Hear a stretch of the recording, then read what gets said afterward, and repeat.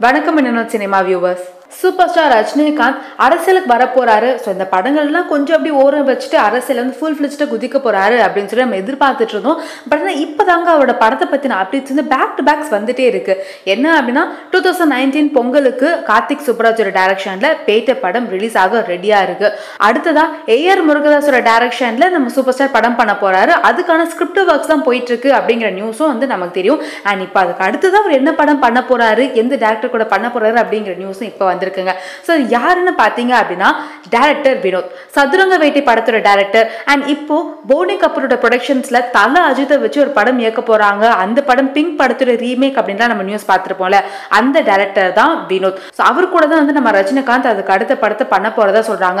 வினோத் வந்து super star கிட்ட போய் கதை சொன்னாராம். அதுக்கு சூப்பர் ஸ்டார் வந்து கொஞ்சம் சேஞ்சஸ்லாம் பண்ண சொல்லியிருக்காங்க ஸோ அந்த சேஞ்சஸ்லாம் பண்ணி முடிச்சுட்டு மோஸ்ட்லி அந்த ஸ்கிரிப்ட் வந்து ஓகே ஆகும் அப்படின்னு சொல்லியிருக்காங்க.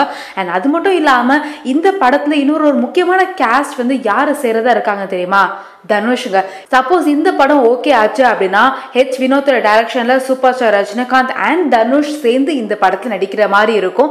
மாமனாரும் மருமகனும் சேர்ந்து நடிக்கிற முதல் படமா இந்த படம் இருக்கும். ஸோ அதுக்குள்ள வந்து நம்ம ஏஆர் முருகதாஸ் கூட சூப்பர் ஸ்டார் நடிச்சு முடிச்சுட்டு நம்ம தலை அஜித்தை வச்சு நம்ம வினோத்தை டைரக்ட் பண்ணி முடிச்சிட்டாரு அப்படின்னா சூப்பர் ஸ்டாரா வினோத்தை சேர்ந்து அடுத்த ஒரு காம்போ நம்ம எக்ஸ்பெக்ட் பண்ணலாம். பட் இது எல்லாத்தோட அஃபிஷியல் கன்ஃபர்மேஷனுக்காகவும் நம்ம வெயிட் பண்ணி பார்ப்போம். அதுக்கு முன்னாடி இந்த காம்போ ஒன்று சேர்ந்துச்சு அப்படின்னா அதுக்கான உங்க எக்ஸ்பெக்டேஷன் எவ்வளோ இருக்குது அப்படிங்கிறத கமெண்ட் பண்ணுங்கள் இதே மாதிரி நிறைய சினிமா அப்டேட்ஸ் தெரிஞ்சுக்க என்னென்ன சினிமாவுக்கு சப்ஸ்கிரைப் பண்ணுங்க.